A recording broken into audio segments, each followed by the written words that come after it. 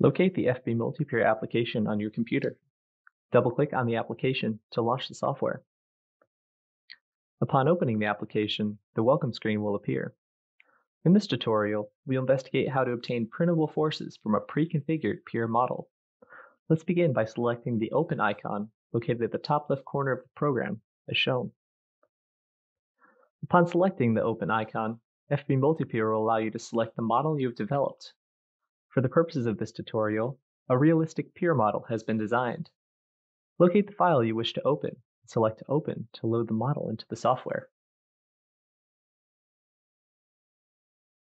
If you do not have a model created, simply select the New icon, followed by Pier, as demonstrated in our other tutorial videos. After loading your model, the user interface will display four individual windows as shown here.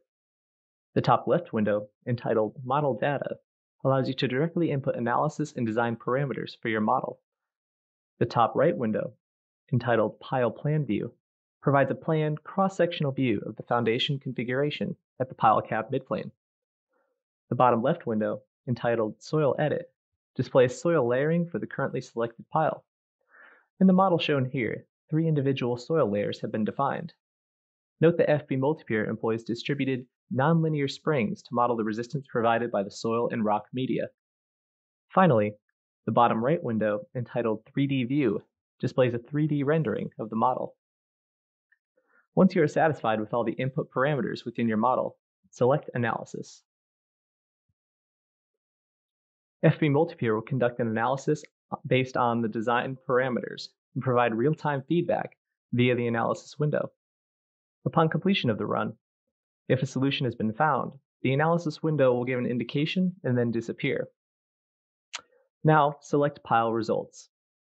Though we will be investigating pile results in this tutorial, this post-processing process can also be conducted for the pier columns in pier, or bent caps in the pier results window which is accessed by selecting its corresponding icon, as shown. After selecting the Pile Results icon, several windows will appear. This set of windows provides users with a variety of data sets for the piles used in the model. One pile has been pre-selected. To alter the pile of interest, use the Drag Selection tool in the Pile Plan View window by clicking and dragging as shown.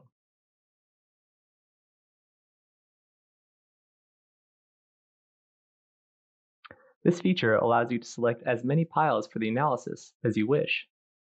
Data per pile will be generated simultaneously within each plot below.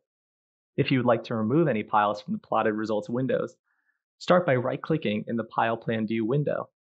Then select the Deselect Piles option.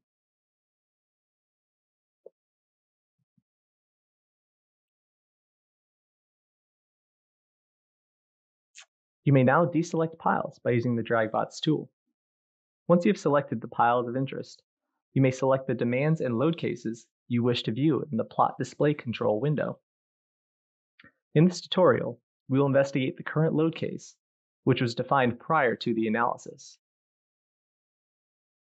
Towards the bottom half of the program interface, a variety of profile plots are presented for the piles we have selected. Though these plots are useful for depicting general trends, the tabular set of data points is also available. To access this data, right-click in the plot of interest. For the purposes of this tutorial, we will investigate the tabular data associated with the demand versus capacity ratio plot. Next, select the Printable Graph option. A printable forces plot will be presented to the right, providing numerical data in a tabular format. Data is given per pile node.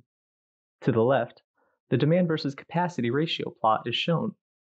Of note is the jump in the demand capacity profile plot. This is attributed to the pile casing present in the same portion of the pile length in the model. For convenience, FB MultiPier provides users with the option to export their data to Excel. To export your data, click Excel.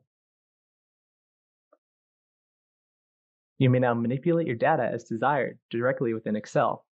That concludes this tutorial. Thanks for watching.